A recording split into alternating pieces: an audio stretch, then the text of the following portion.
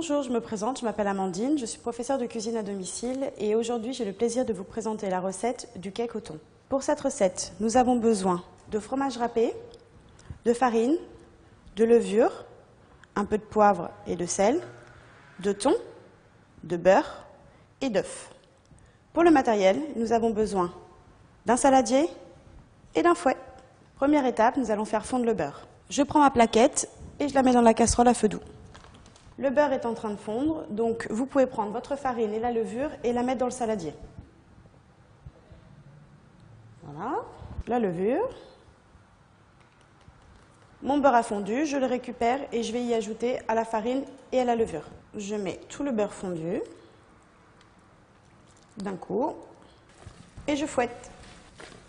Une fois que j'ai mélangé le beurre fondu, la farine et la levure, j'y ajoute les œufs et n'oubliez pas toujours un par un.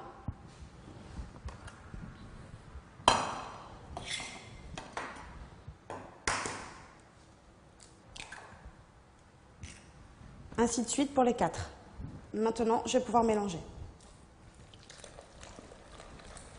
Voilà, j'ai donc bien fouetté le mélange. Je vais y ajouter un tout petit peu de crème liquide histoire de détendre l'appareil.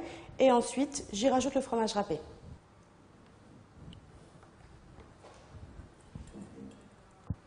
Et on fouette.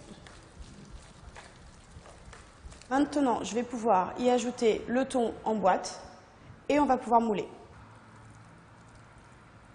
Et je mélange. On remplit aux trois quarts.